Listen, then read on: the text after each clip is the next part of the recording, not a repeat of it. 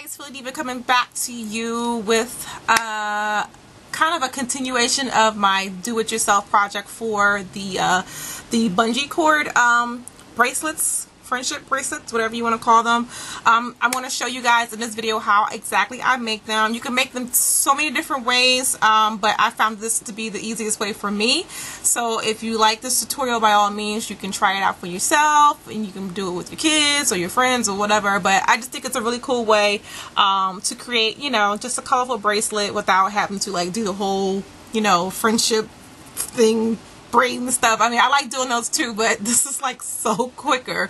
Okay, so for this project, you're to need a few things. You're to need uh, preferably the bungee cord. Um, I don't know what length this is, but probably the shortest length you can possibly find. Um, kind of go around your wrists like so. You should have some room left over from it.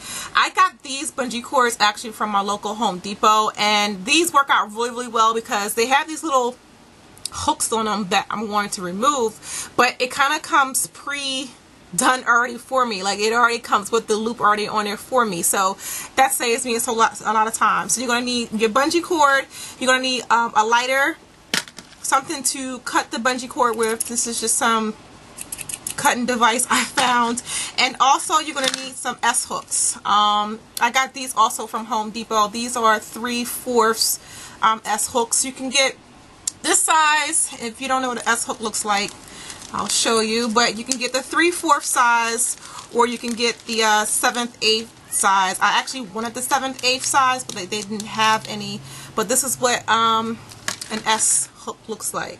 It looks just like an S, okay? So what you're going to do is is take take your bungee cord and we're not going to use these little gold things on the end okay so what you're going to do is cut the end not this part where the loop is. Well, right where the loop is, you want to cut that off as close as you can because you want to save as much cord as possible, okay?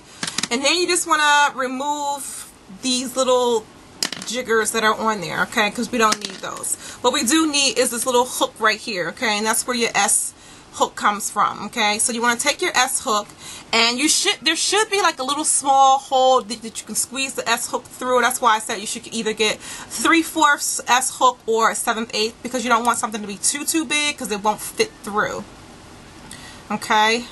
So you want to squeeze it through that little tiny hole okay like so and then you should have something that looks like this okay? Also you may need some pliers or something like that okay pliers. Also I'm sorry. So what you want to do now is once you get the hook through you just want to squeeze that end together so it doesn't come out.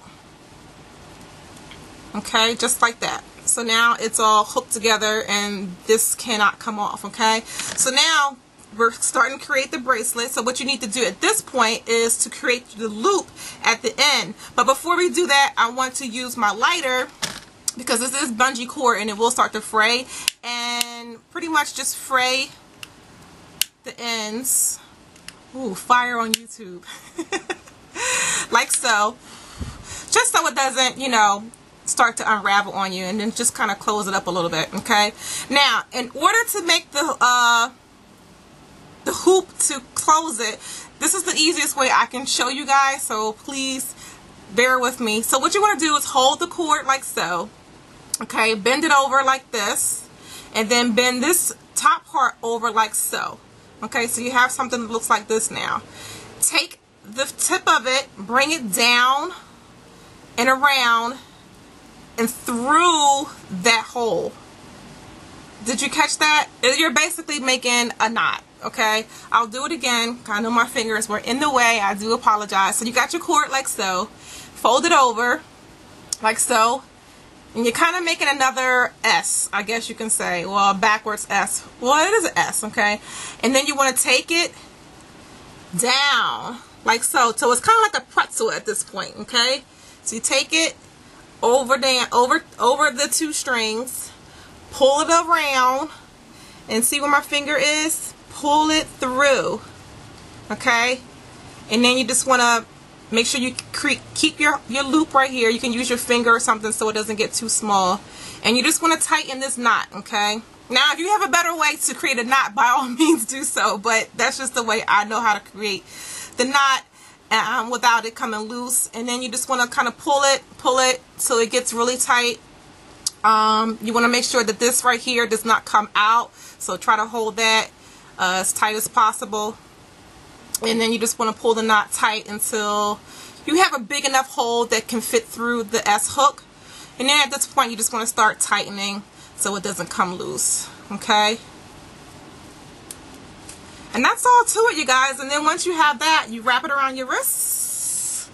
And then because it's bungee, it totally stretches. So make sure, you know, it stretches large enough to fit around your wrists. You just take the S hook and slip it through your loop that you just created. And then you have your bracelet. Okay, so it's that simple. It took me, what, less than five minutes to do this, you guys. So trust me, if I wasn't talking through it, it took me probably less than five minutes. I mean, less than two minutes. But, um, yeah, I have plenty more. So I think if you get it from Home Depot, they come in like packs of like eight or something like that. Or you can also buy the bungee cord, you know, super long. They come in all different colors. Um, you get the S hooks. These are, again, at Home Depot for like a dollar. It's change. You get six of them in the pack. Looks like this. S hooks. And of course, you know, you just get a lighter, use something to squeeze the S hooks together, and then you have some really cool, fun, uh, colorful friendship bracelets. Okay, you guys, so if you have any questions in regards to anything, feel free to leave a comment below and I will get back to you. Otherwise, stay tuned for more do-it-yourself projects.